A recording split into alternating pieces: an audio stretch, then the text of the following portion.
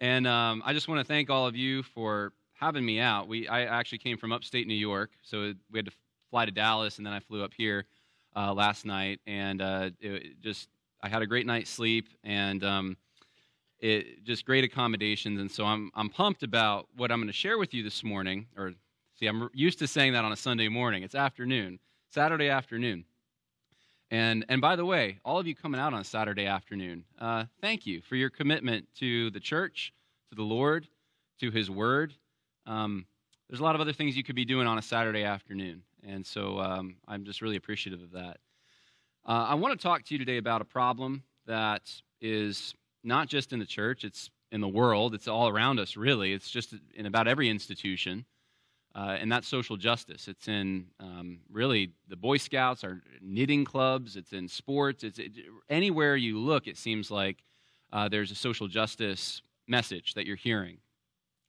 And I think a lot of the messaging that we've heard in the last three years is new. It, it kind of came out of nowhere uh, for someone who's perhaps just living their life, going to church, keeping a job, and and then all of a sudden, out of nowhere, it was the Me Too movement and Black Lives Matter and LGBT uh, normalization and um, and even some of the COVID stuff. To be honest with you, uh, fits into this. And and so I'm going to talk about all that. I'm going to talk about why this is a threat to the gospel and also just our Christian theology and how it's making its way uh, into the church. And it, this is a serious topic. This isn't just my opinion. This is uh, th- this is something that we can open the pages of Scripture. We can look at what's being said today in popular media and in academia, and we can look at what the scripture says, and we can see the two are not congruent, that there's actually contradictions.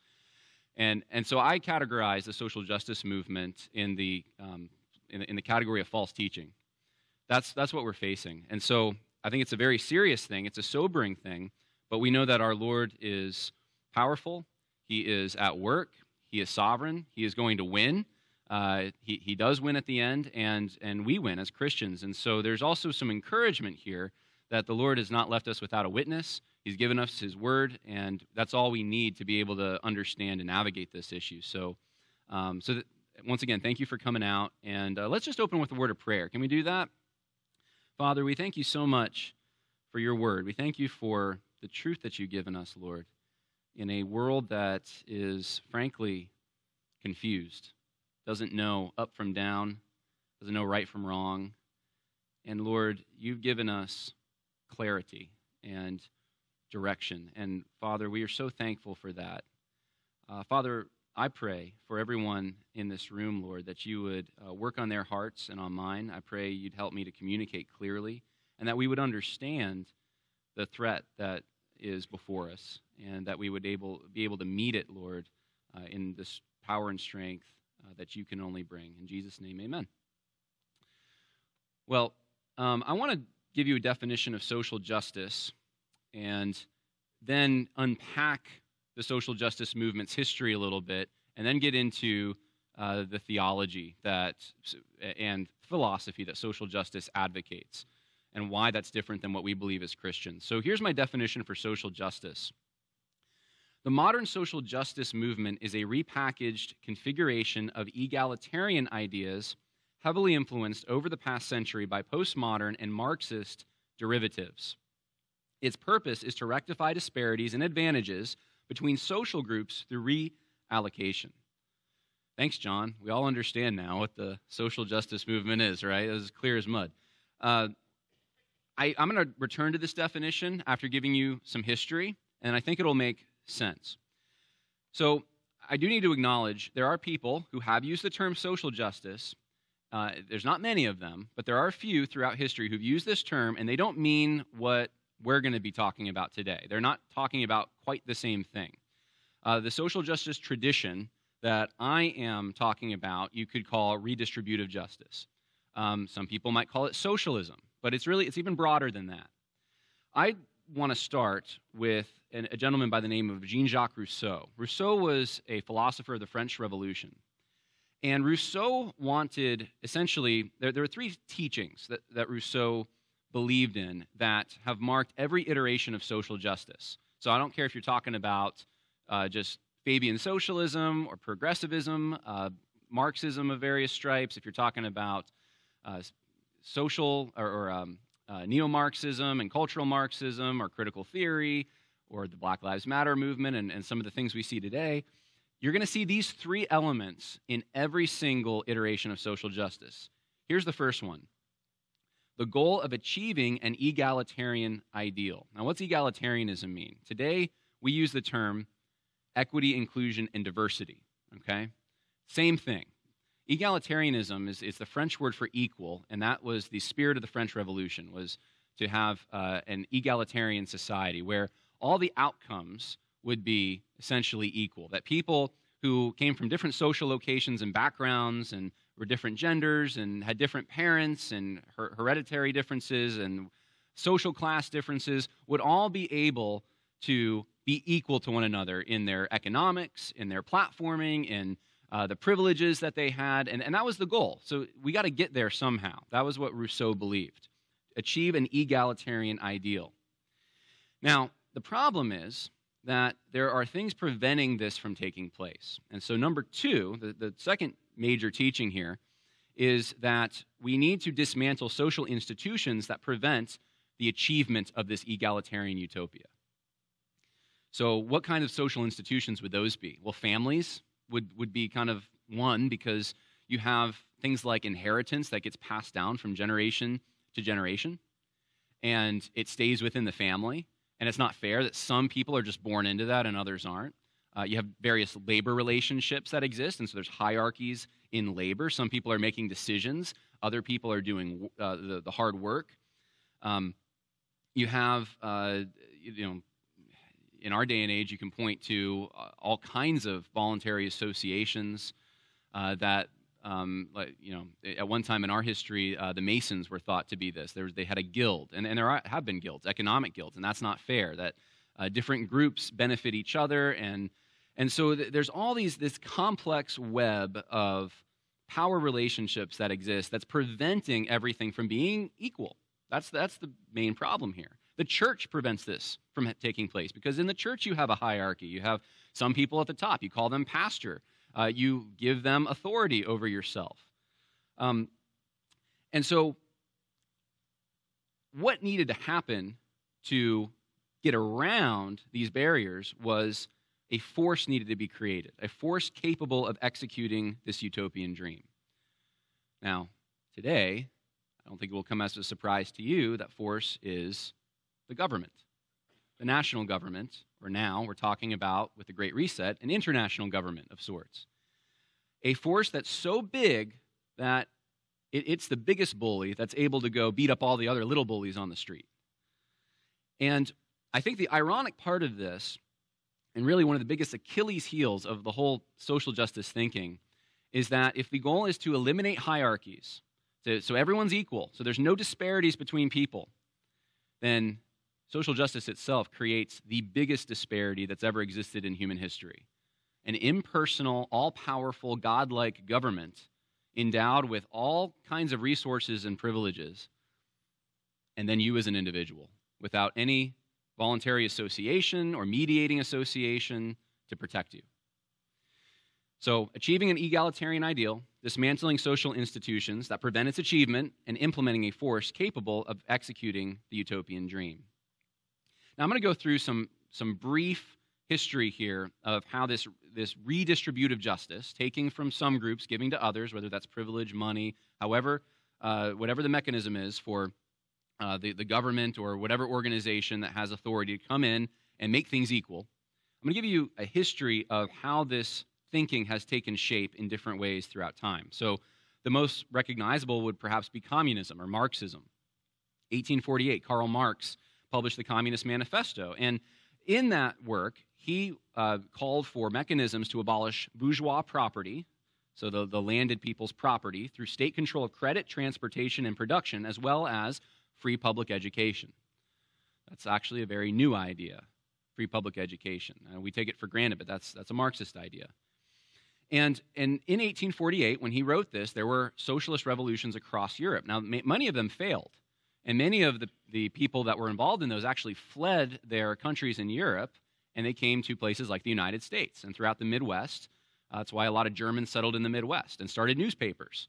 Uh, if you trace the origins in some ways of our liberal media, that you'll start finding out some interesting connections here. But uh, they were fleeing. They came to the United States and they brought with them their socialist ideas. And there was some rich soil in the United States at that time for these ideas. We had prohibitionism, anti Masonry, uh, abolitionism, women's emancipation. There's all these social reform movements going on. And, and it created it just a fertile ground for uh, the acceptance of socialist ideas. And so, um, what ended up happening was we got the social gospel. And Walter Rauschenbusch is a Baptist professor in New York. He's most commonly credited with creating or inventing the social gospel. But there was another term that he often used. He didn't always talk about the social gospel. What he actually talked about quite a bit, if you read his writings, is this term social justice. He's the one that popularized the term. And it wasn't just him, he was probably uh, the main one. In fact, um, I can give you quotes, and there's many quotes in, at, at the book table in the back.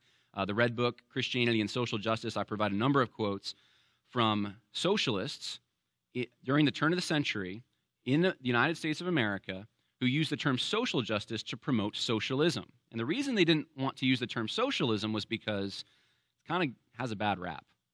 People hear socialism and they think, well, that's immoral and that's atheistic, because that's how the socialists in Europe were.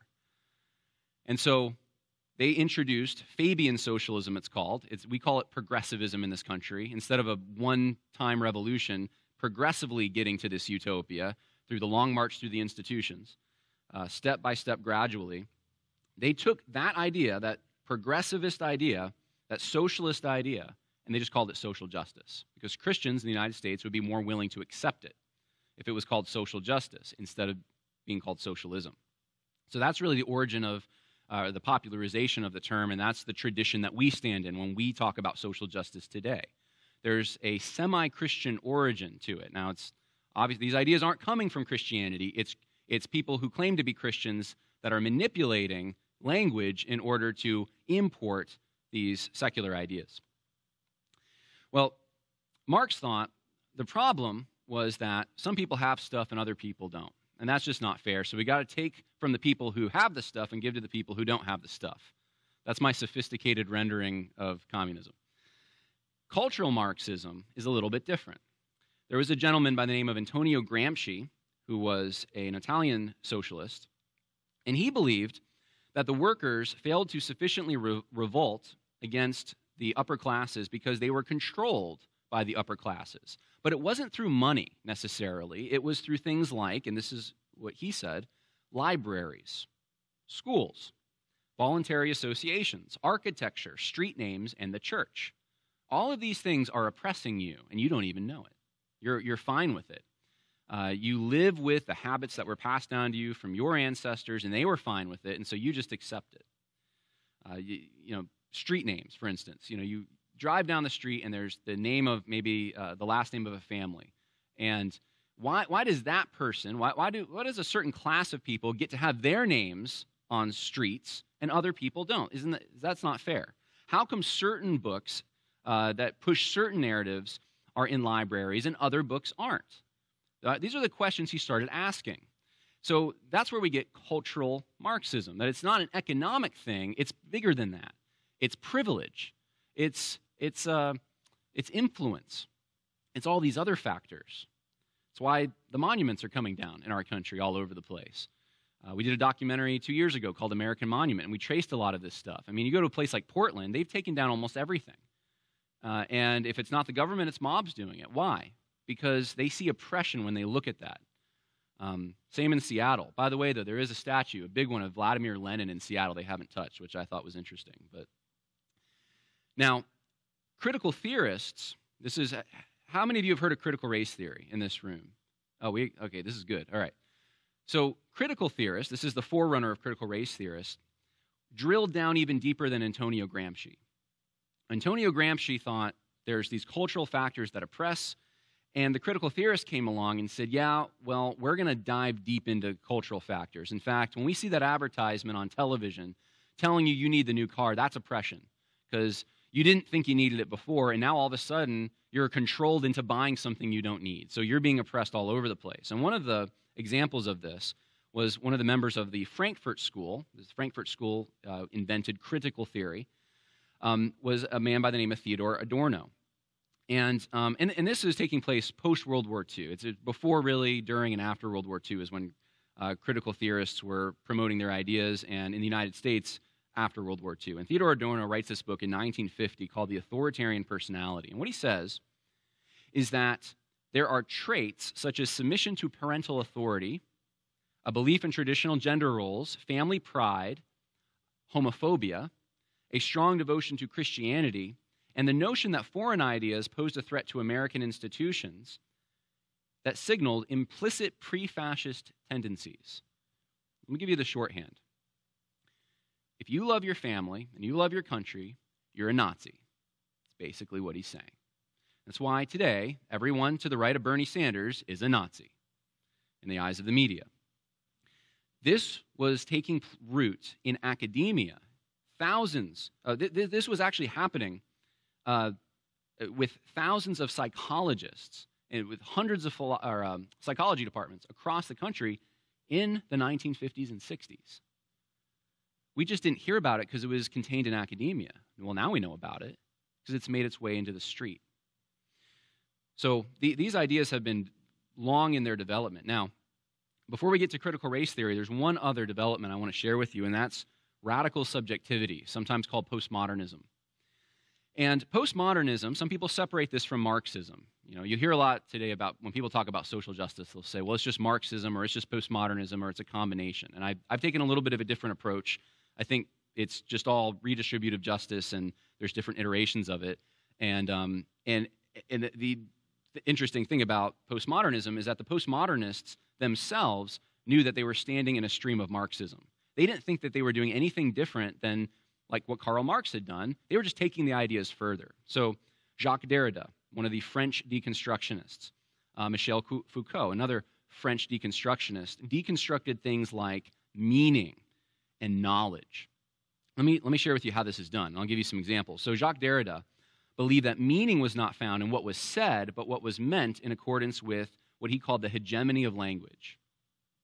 Using certain tools of analysis, many of which were inspired by Marx, Derrida endeavored to deconstruct messages in order to expose the prejudice embedded within them.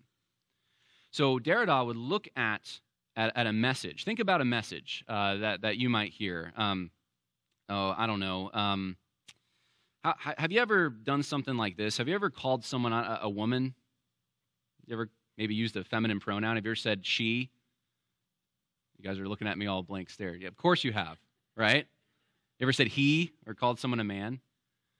You're a bunch of oppressors if that's what you've done, right? Because what Derrida is saying is that language is not objectively rooted in reality. There's no actual bedrock truth that language is trying to correspond to and describe. Actually, language is just a tool that different social groups use to oppress one another. That's all it is. So if you look at the world and you see gender binary, you see there's men and there's women, and you start categorizing people according to that when they don't want to be categorized that way, you're an oppressor. You're imposing your values on them. And you don't have the right to do that. So, um, Michel Foucault deconstructed knowledge by making it dependent on power. So basically, every single knowledge statement that you receive is just uh, it, it's just a social group trying to exert power. If, if we had, let's say, to give you an example, an accident out here, or a, um, let's say a police shooting happened out here, and some witnesses came in, and, uh, and they told us what had happened. And we got two different stories. The police is wrong in one story, the police is right in the other story. Michel Foucault wouldn't push you to figure out, well, who's actually objectively correct in this scenario necessarily. He would more want to examine, well, whose story is going to benefit those in power? So if the story is that the cop, uh, that police officer, was in the wrong, well, that might be the just thing to go with because it's benefiting a, a, a group that's oppressed and it's bad for those in power who need to be cut down a few notches. So if knowledge is just connected with power, there really is no knowledge anymore. If meaning is, is just connected with this hegemony of language, there's really no meaning anymore. And that's what the postmodernists have given us. And they knew what they were doing was, as Jacques Derrida said, a radicalization of a certain Marxism. So this is just Marxism applied to things like meaning and language. That brings us to critical race theory. Critical race theory was developed by a Harvard professor named Derek Bell, who believed that progress in American race relations was largely a mirage, obscuring the fact that whites continue, consciously or unconsciously, to do all in their power to ensure their dominion and maintain control. There's really two basic tenets. Uh, now, there's we could expand that, and I could give you the seven teachings of critical race theory, but they all really break down into the, these two things: that racism is systemically embedded within the fabric of society, and that it can only be addressed by interpreting the world through the lens of minority experience. So, if you're not a minority with an experience, then you need to just sit down and shut up. You have nothing to add to the conversation. You don't understand injustice because you haven't lived, you don't have the experience of injustice. And what does that do with our Word of God, ultimately? It negates it. No longer is the Word of God the authority on dealing with issues of injustice. It's, we have to go to survivors of sexual abuse. We have to go to uh, the, the victims of police brutality. We have to find in their stories solutions to these things. And I would submit that that's happening, and I'll give you some examples in the next session all over the place in Christianity today. Now, one of uh, Bell's students, Kimberly Williams Crenshaw, developed something called intersectionality. And she believed that um, identity politics, politics had failed, and so, uh, and the reason was because we all have uh, different identity factors. And some people have multiple identity factors that uh, signal oppression. So you could be, let's see, female, and you could be a minority, and you could be gluten free, and you could be an introvert. Uh, I'm just or left-handed or something. I mean, it, it gets kind of silly after a while, and all of these things end up making you authoritative, more authoritative, to speak about oppression. So there's a race to the bottom today. Everyone wants to be oppressed. Uh, people who you know have grown up with a silver spoon in their mouth are saying how oppressed they are because uh, you know they're their riches are somehow uh, factors that stress them out and oppress them. And, and so intersectionality has, instead of pursuing excellence, has created in our society, like I said, a race to the bottom. Now, the goal of all of this, and this is really the meat of what I want to share with you, is to destroy Orthodox Christianity. Karl Marx said that the social principles of Christianity preach the necessity of a ruling and oppressed class. He was against Christianity. Um, Antonio Gramsci wanted socialism to, quote, kill Christianity. Michel Foucault, Foucault uh, wanted to liberate people from political rationality, which he believed stood on the idea of Christian pastoral power. But it wasn't enough to eliminate Christianity. The actual end game of this was to replace Orthodox Christianity with something else. Rousseau believed that Christian law was harmful, but he imagined a religion that would one day make a revolution among men based on the innate principles of justice and virtue in people, humanistic. H.G. Wells, if you ever read The Time Machine uh, or um, some of his other War of the Worlds, I actually like H.G. Wells. Then I found out he was this atheist Fabian socialist, and uh, I still like H.G. Wells, but uh, made me look at his stuff a little differently. He said in a book called The Open Conspiracy that he wanted to replace religious, familial, and national loyalties. And with, and what did he want to replace them with? He said, a world religion. He's an atheist saying this. He renamed the Open Conspiracy in a 1940 book, and instead of calling it the Open Conspiracy, he called it, and this is not my term, the New World Order. That was his term. Derek Bell believed that fundamentalist Christians uh, were in the wrong for diverting political protest and reaffirming the conservative values on which the white middle classes' traditional illusions of superiority are grounded, but he also thought there's a new uh, interpretation of Christianity that could lead to enlightenment and pacification. In 2020, we saw on the streets what Michael Tracey, a secular reporter, called revival services, basically. He said that, I'm telling you, every protest I've been to so far perfectly mirrors an outdoor evangelical Christian worship service. Kneeling down for a certain amount of time, um, I mean, you, you have probably all the images in your head. This was, this was worship going on, this was religion that we were seeing. In fact, I, I remember one of, um, one of my wife's friends on, on Facebook, a, a, sort of an ex evangelical, said that that was her church now, was going to these protests. What we've seen develop before our eyes is a brand new religion. The bad news isn't original sin that we all have, a divine law that condemns us, judgment that's coming. The bad news is now you have whiteness, maleness, and heterosexuality. You need to follow political correctness, and you haven't. And the judgment is getting canceled in this life. Instead of the good news that you can be born again in Jesus Christ, that you can be sanctified in Him, that you can one day be with Him in heaven, the good news is be, you can become woke. That's their born again experience. You can take progressive political action. You can have social equity, inclusion, and diversity on this world, maybe one day. They have their own canon, woke books that cannot be questioned, their own inspired, oppressed perspectives. Uh, they have their own clergy, priests, prophets, media, social studies programs, critical theorists, community organizers. They have their own evangelism and missions, decolonization, implicit bias training at your jobs. They have their own saints, the victims of police shootings. Fact, I think with COVID, we've seen similar, uh, a, a, similar development here. Um, salvation is vaccination, sacraments, masks, social distancing, lockdowns, booster shots, proselytizing, public service announcements, social media virtue signals, membership in the religion, your vaccine card, the heathens, the unvaccinated, the heretics, the anti vax conspiracy theorists, the high priests, Anthony Fauci, and government health officials. God is government, and the Savior is science. This is a religion. And we're seeing different iterations of it, but in every single case, the central authority, the government, ends up somehow being the one that we have to cry out to to solve our dilemma. It becomes God. Let me give you the definition of social justice again. The modern social justice movement is a repackaged configuration of egalitarian ideas heavily influenced over the past century by postmodern and Marxist derivatives. Its purpose is to rectify disparities in advantages between social groups through reallocation. The goals are achieving an egalitarian ideal, dismantling social institutions that prevent its achievement, and implementing a force capable of executing this utopian dream.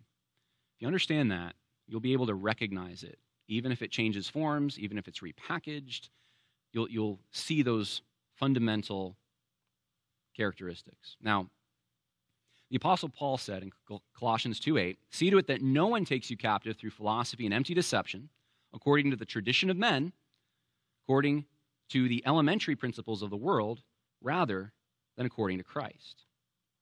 But that's exactly what's happened with the social justice movement. It's not just stayed out there. It's not just something that we experience at our jobs or when we're shopping or uh, we've, we've, used a streaming service. I, I, think in 2020, I was getting emails from companies I hadn't frequented in like 15 years. I didn't even know they had my email saying how much they were against racism, systemic racism. I mean, it's everywhere out there. That's bad enough. But it's in here too. And I want to point out some things that should concern us about the syncretization, the merging of social justice and Christianity. In order to do that, I'm going to need to take you through the three main uh, philosophical branches and compare what Christianity says and then what social justice teaches. So, we're going to talk about these are kind of big words. Uh, some of you might not have heard of them, but I'll explain them. We're going to talk about metaphysics, epistemology, and ethics. Metaphysics is uh, the study of what exists, what's in reality, what kinds of things are out there, what is reality composed of. Uh, epistemology is uh, concerned with questions of how do we know what truth is? What is truth? And then ethics is right and wrong. It's, you know, we think of it as morality, um, but it, there's more than that. There's the, the beauty, there's, there's value theory.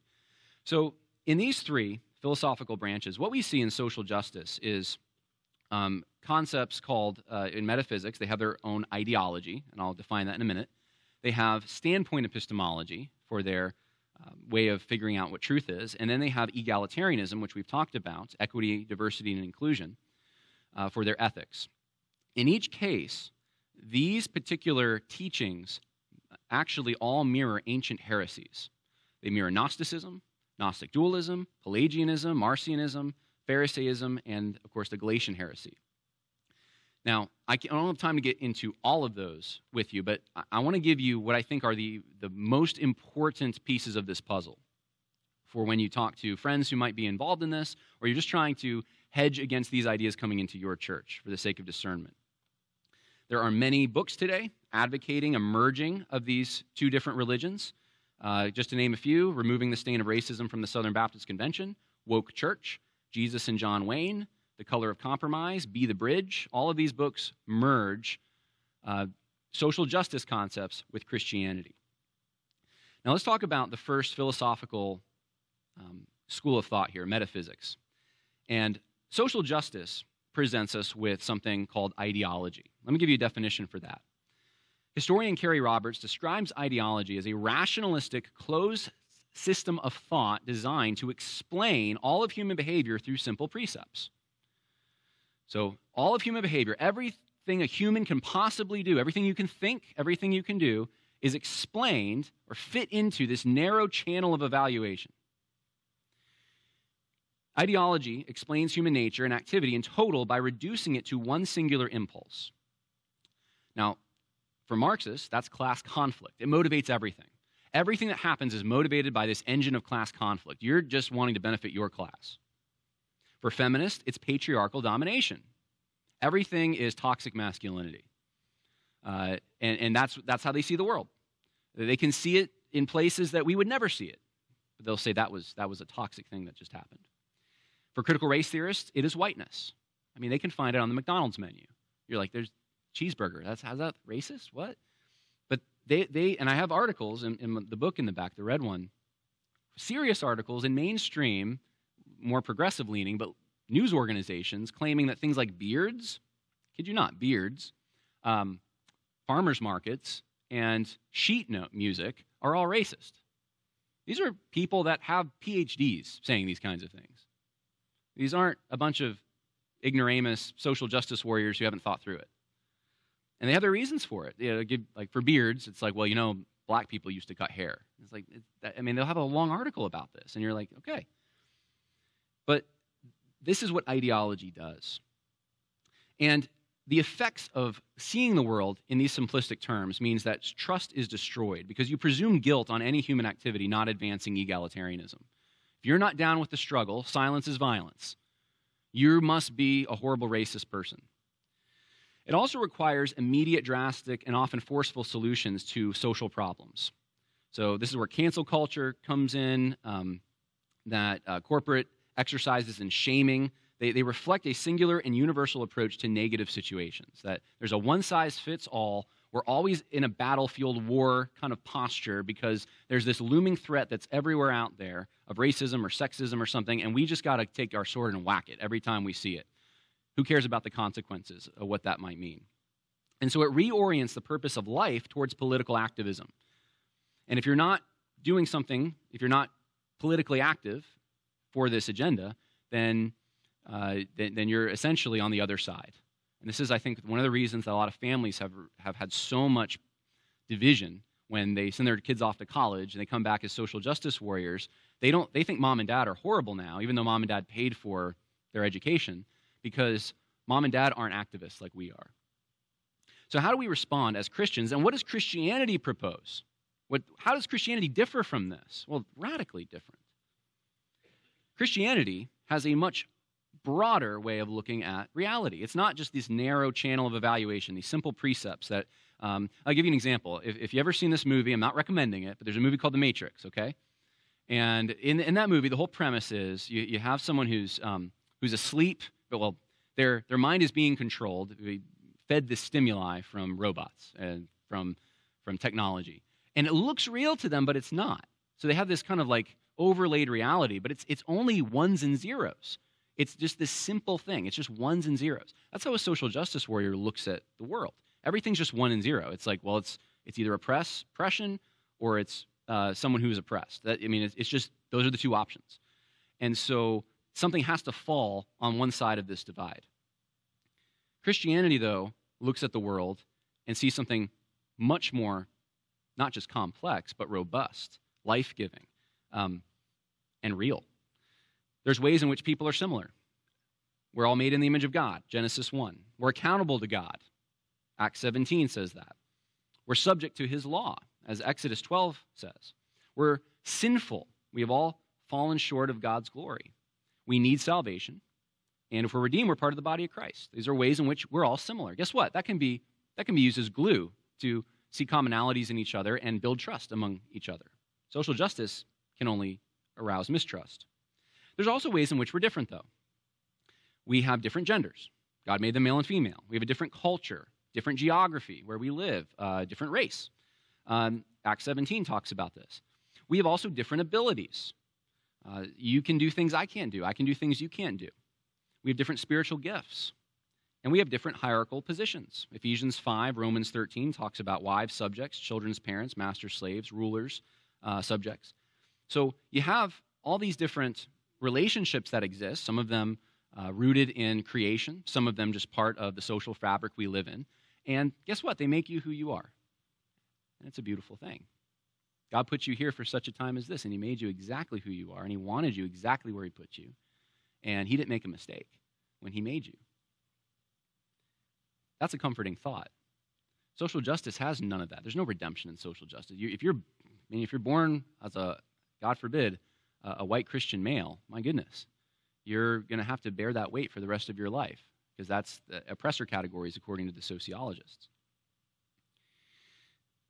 So that's what Christianity teaches, in contrast to social justice and how it operates. Now, um, one of the things, and, and, this is just a more of a logical critique, and I'll give you some biblical, but one of the things that I think is important to think through, and it, you have to take an intellectual step back with me for a moment, is when ideologues, when social justice warriors impress upon reality this framework that they've developed, they don't apply it to themselves. Have you noticed that? Have you noticed that happens a lot with progressives? They don't apply what they want to preach to others to themselves. Did you know the most conservative uh, states in this country are the most generous?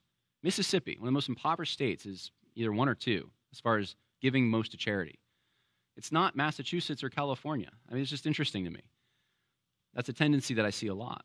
In this particular case, though, social justice activists don't connect their, um, their ideology to oppression. If everything, so here's the thing if everything's connected to oppression out there, why not the idea that everything's connected to oppression? Maybe that's oppression. Maybe the very idea that everything's connected to oppression is oppression. Now that'll, I don't know, take two Advil and then it makes sense and then you kind of lose it. it when social justice warriors, though, go out and rage against the machine or the system, what about the little system in here? Is there something in here that might be oppression? And Christianity teaches there's evil in the heart. Social justice activists don't believe that. It's all out there, it's systemic. It's, uh, the source of evil is all out there. So that's a, an Achilles heel. That's a self refutation of the ideological position. Um, I think good questions to ask social justice activists. What tangible things are social justice activists personally involved in doing to help the condition of suffering people? You know, is it just this systemic thing, or are you involved? Are you, involved in charity? Are you doing things? Um, how about um, uh, the, the, Bible's? Uh, I'm thinking of like Exodus 20:16 injunction to not bear false witness, uh, or Proverbs 20:10, which says not to use differing weights and measures. That the Lord hates those kinds of things. That's, that's what social justice warriors do when they engage in this kind of ideology. Proverbs 18:2 says a fool does not delight in understanding but only in revealing his own mind. And so this is where I would put the brakes on and say someone who wants to view the world that way is have you thought through it? Have you the people you're trying to smear? Have you really are you looking at them uh, through a flash moment of their life and trying to just reduce them down to being defin- um, characterized, defined by that one moment? Or are you looking through the full scope of what God created them to be? All their identity factors, um, all the, the, the things that make life rich. I'm going to talk now, just for the sake of time, because I'm going a little over in a few minutes here. Um, I want to skip ahead to standpoint epistemology, the way that the Bible conceives of truth and the way social justice activists conceive of truth. Standpoint epistemology is the idea that um, different experiences produce different kinds of understandings of reality. And so, standpoint theorists consider oppressed experiences to be superior to experiences that don't have oppression. Let me, let me paint a picture for you. So, you have two boxes, let's say, in a 3D stick world. You have red box and blue box. And inside red box lives red man, and blue box lives blue man. Just imagine with me for a second. And they both have glasses red glasses and blue glasses. And for the red guy, stuck in his red box, everything looks red. For the blue guy, stuck in his blue box, everything looks blue. And so they can have no interaction between uh, themselves because they're stuck in their box. And reality looks one way to one person, reality looks another way to another person. That's the world that postmodernists really give us. We're all stuck in our perspectives. We can't transcend those things. We're all just kind of stuck here. I'm a white male. I'm going to have a white male perspective and nothing else. Okay? I, and I just have to listen to these outside perspectives because I'm, I'm incapable of thinking for myself.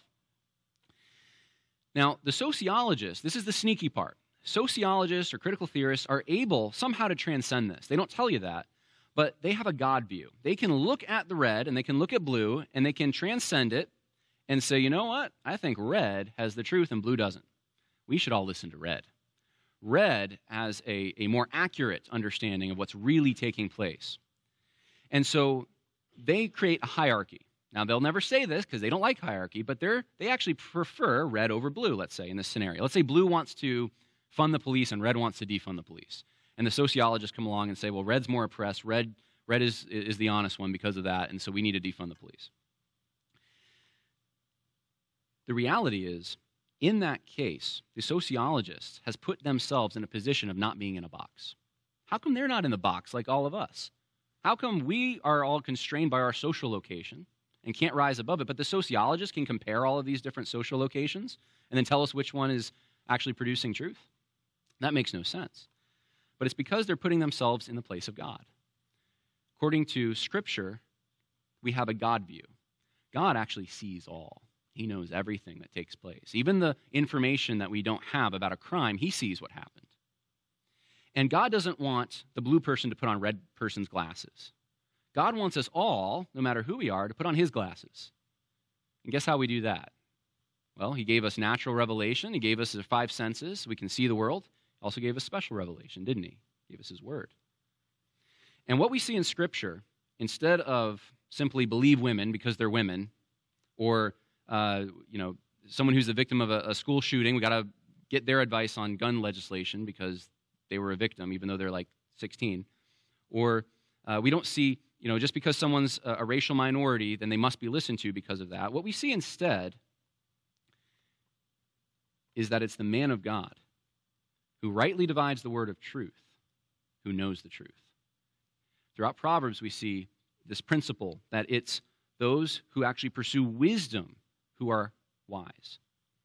It's the Bereans who checked Paul out and did the hard work of looking at what he said compared to what the scripture said, who were commended. The emphasis in scripture isn't on your social location. There's no barrier there to understanding the truth that God has given us.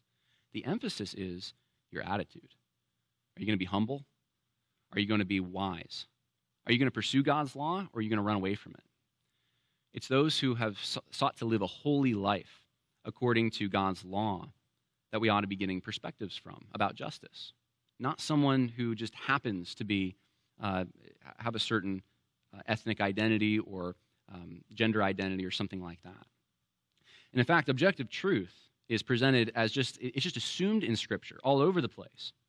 Uh, just looking at the Gospel of John, God is spirit, and those who worship him must worship in spirit and what? Truth. You will know what? The truth, and the truth will make you free. Jesus said, On the way, the truth, and the life. Truth is very important. And if you give that up, and just say, well, there's really no truth. It's just different competing social groups trying to get their story told, then you've given up the Bible. That's why this is so dangerous. And that's why I'm very concerned when I see this being imported into the church. And uh, it is being imported all over the place. And we, we'll talk about some of that in the next session. Some questions to ask. Um, here, here's one Would we assume someone is qualified to write instruction manuals for surgeons simply because they underwent an operation? That would be silly, wouldn't it? And you would probably want to say, forget it, I'm putting my clothes back on, we're leaving here. If the person who was going to do your brain surgery said, well, I had a surgery once, so I'm qualified to do this. But that's essentially what we're being asked to believe. Now, the third thing, uh, and, and I, I, realize I'm a little over, is that okay? I can save it for the next session, is egalitarianism, equality, diversity, or um, equity, diversity, and inclusion. Let me give you a definition uh, from Treasury Secretary Leslie Shaw. uh, on socialism. I think it's one of the best definitions of socialism I've ever heard. This is what he said Socialism is the idea that men must succeed equally regardless of aptitude. They must succeed equally regardless of aptitude. So, that means if there's a disparity between people groups, one pe- uh, group of people has stuff, one group of people doesn't have stuff, or access to health care, not education, whatever it is, then that's fundamentally wrong in the mind of a socialist. And whether or not choices were made that brought about a state of affairs that led to this bad situation is irrelevant. It must be rectified. And the only way it can be rectified is through redistribution. You got to take from one group and give to another. That's the only way. There's no other way. Now, this isn't just happening with in, in money and you know finances. It's not just reparations and things like that. It's diversifying theological libraries and elder boards.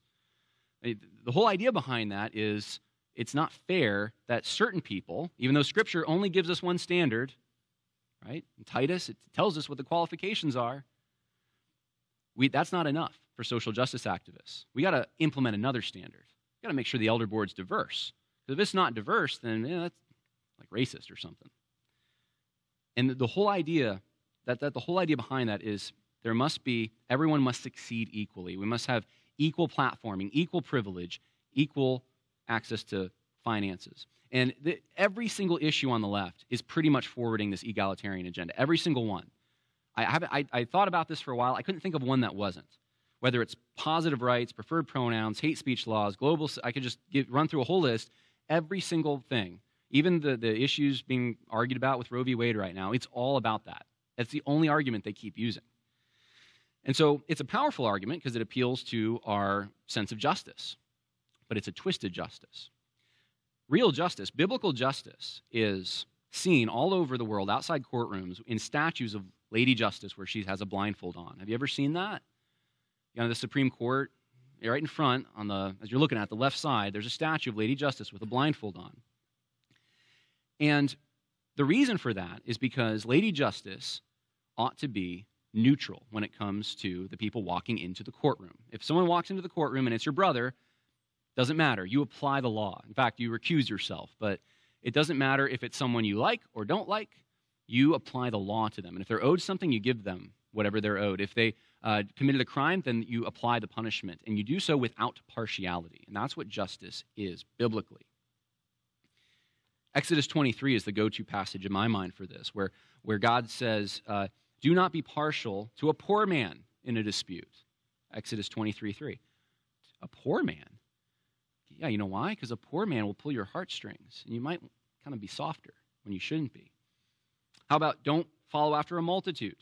Uh, uh, do not join your hand with a wicked man. If you meet your enemy's ox or his donkey wandering away, you shall surely return it to him. Talks about your needy brother. Don't favor your needy brother. Uh, don't oppress a stranger because a stranger is not going to have all the access to navigate. They won't understand uh, some of the, the, laws and things that exist in your land. So um, the whole point is that it doesn't matter who the person is, treat people impartially. That's what justice is. Well, social justice is the exact opposite. It injects partiality. It says, well, when that person, when, you, when, you're, when you're seeing that person on the street, you better treat them differently because they have a di- certain skin color or they're a certain gender. And, and so you end up adjusting the way you treat other people. And if that gets embedded into our criminal justice system, which is the whole point of critical race theory, we don't have a justice system anymore. And it's already starting. So, questions to ask people who believe this egalitarianism. Um, one of them is God's law just? If they're a Christian, is God's law just? Because it doesn't say any of this. Um, does uh, one of the questions is on what basis are humans entitled to social privileges? So, what, what gives someone the right to something else fundamentally? That's hardly ever thought through. It's just assumed because of a disparity. Are there certain hierarchies that should not be deconstructed? How about the family? The family produces disparate social outcomes. People with moms and dads do better. Should we just eliminate moms and dads? Like, how far do we take this thinking? So that's the third major area in which Christianity and social justice conflict. And then the last and final, and I'm wrapping it up, area that concerns me the most is social justice ultimately is a different gospel. For social justice activists, human participation in achieving egalitarian equality is good news. It means the world will eventually overcome inequalities through corporate human action and enter a utopian state. Social justice activists within Christianity often merge the gospel's message of salvation by grace through faith with a law derived from principles of equity, diversity, and inclusion. Such fusion merges elements of the law with the gospel. I could give you quote after quote, and they're in, they're in the red book back there, of Christians in the Southern Baptist Convention, in the PCA, in all kinds of evangelical places, making this exact argument. How about I give you one, just for the sake of time? Let me just give you one. And um, I'll, uh, I'll use Russell Moore, if that's okay. Russell Moore works for Christianity Today. He was the former head of the Ethics and Religious Liberty Commission for the Southern Baptist Convention. He believed that Martin Luther King Jr. preached the gospel through his activism. But Orthodox believers, meaning you and myself today, the church today, uh, failed to preach the gospel or, or to have the gospel, to be a gospel people, because they did not participate, their parents and grandparents did not, not participate enough in the civil rights movement. And because of their silence today in the face of systemic sin, so, such as he, and he t- talks about poor working conditions uh, and shootings of African American young men and the segregation he says that exists in the church.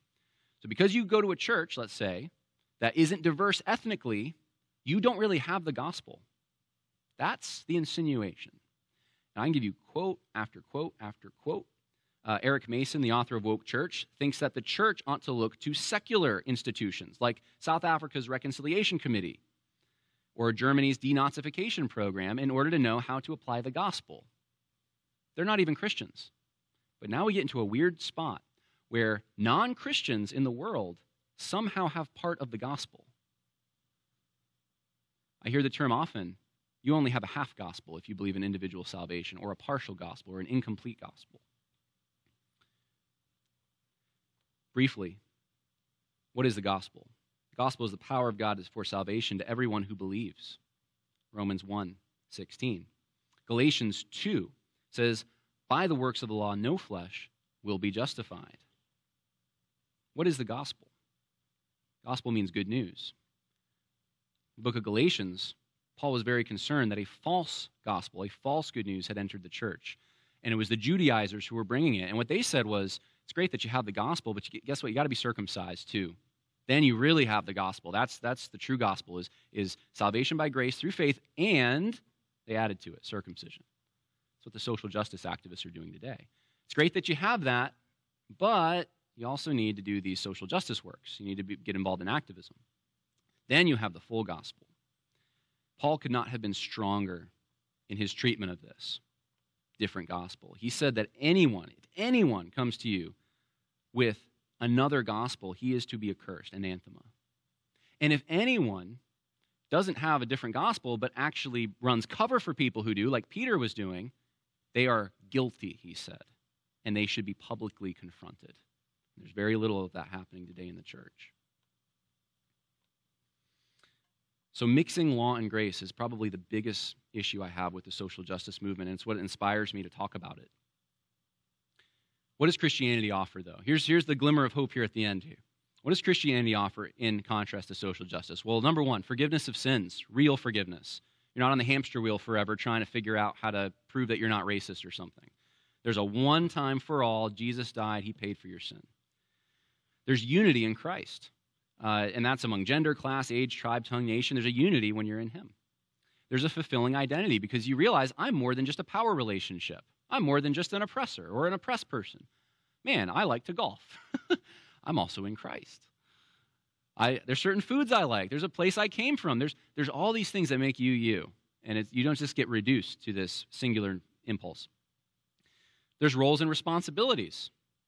So you have a purpose in life, and then there's a basis for rights linked to responsibilities we have before God. You know why the government can't tell me what to do with my children? Because it's not up to them. God gave me that responsibility.